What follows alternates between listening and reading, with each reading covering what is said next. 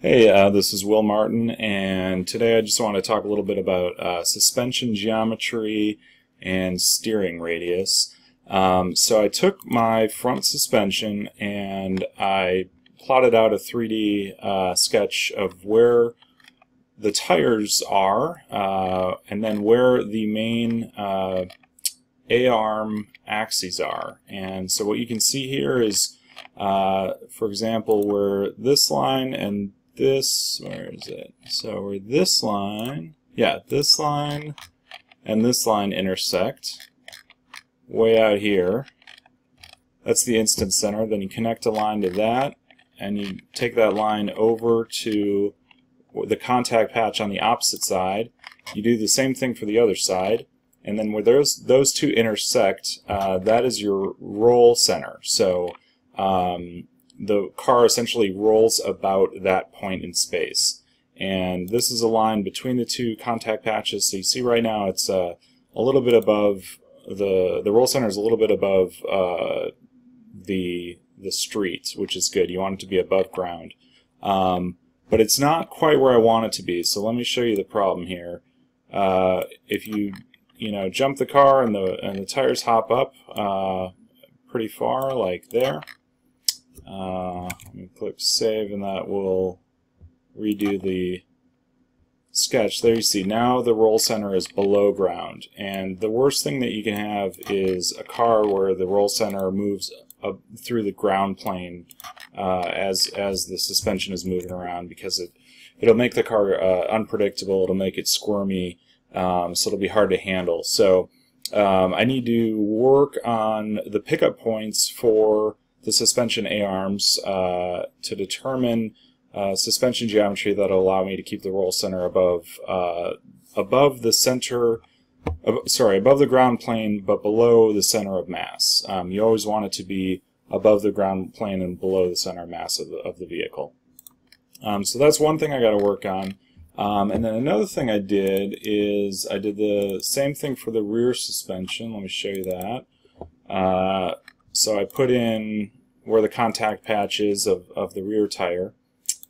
Uh, and then if you put that all together, it gives you the full car with the sketches. And what that allows me to do is figure out, for example, the distance uh, from the rear contact patch to the front of the car, which is 2.235 meters. And then I can do the same thing and figure out the distance between the front contact patches here. Let me do that. Ah. Well, you gotta take my word for it. It's uh, 1.291 meters is what it came out to. So um, using that, I can then determine the uh, turning circle based on um, how you know how much steering angle I can get.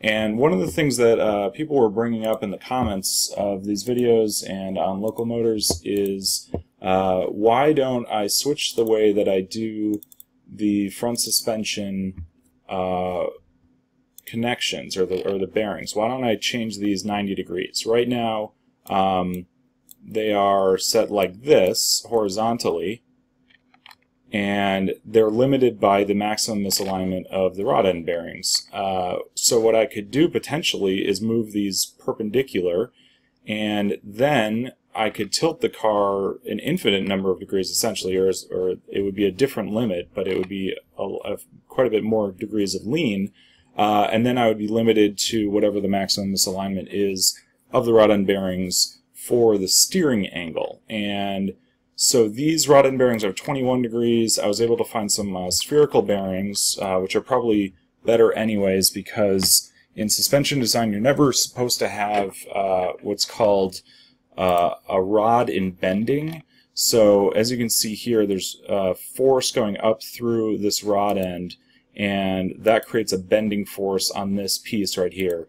Um, and you know, bending force on a small piece of steel uh, is a recipe for disaster that that could break. Um, so traditionally, uh, you don't want to have rod ends in bending. Um, what you do is have spherical bearings uh, that you would load into a bigger structure. So um, what I was thinking of doing is is taking spherical bearings, putting them perpendicular to this axis, which would allow me to have more uh, steering angle, or sorry, more tilt angle. And let me show you what that looks like. So here is my turning radius simple sketch. Now this is the car, okay? It's kind of hard to understand here, but this is the the front middle of the car. This is the left tire contact patch, that point. This is the right tire contact patch, that point. This is the rear tire contact uh, patch point. Um, and again, as I was saying, it's uh, 2.2 meters down, 1.29 meters across. Um, and then what you can do is, uh, you know, if I have a spherical rod end bearing that has a maximum misalignment angle of 23 degrees, I take a uh, line that is that is 23 degrees to a perpendicular line from uh, the front of the car. And then what I can do is I can take a, a circle on the line of the rear tire and make it tangent to this line. So I made these two tangent. You can see there's the symbol for the tangent. And it'll give you the uh, the turning radius of the car. So in this case, the turning radius of the car is 11.4 meters. Uh, and so is that good? Is that bad? Uh, I was able to find a website that had uh, 800 different cars, uh, current cars for sale. Uh, here's the list of all of them. Um, so these are all these cars, and here are their turning circle in feet. I converted them to meters, and then I charted it out. Uh, so here's the chart, and just going back to what I just said, uh, this car with a 23 degree uh, maximum misalignment of a spherical uh, bearing would give me 11.4 meters of turning uh, radius. And if you look at cars out on the road today, 11.5 meters turning radius is the standard. It's the center of the bell curve of uh, turning radius. At the very high end, you have, I believe this is the Rolls-Royce Phantom that has a terrible 15 meter turning radius. And the best car currently for sale is the Mitsubishi Mirage and the Toyota Yaris with a 9.2 and 9.6 meter turning uh, radius. Obviously, city cars, uh, you want to have a better turning radius. Um, so I think I'm pretty happy with having an 11.4 meter uh, turning radius, uh, and that would allow me to have a lot more tilt angle on the car, which would make it a lot more fun. Um, so my next steps are I'm planning to uh, redesign the suspension arms uh, to incorporate spherical rod end bearings and also uh, change the lengths of them and potentially change the height of the pickup points um, to give me a roll center that is above the ground plane but below the center of mass.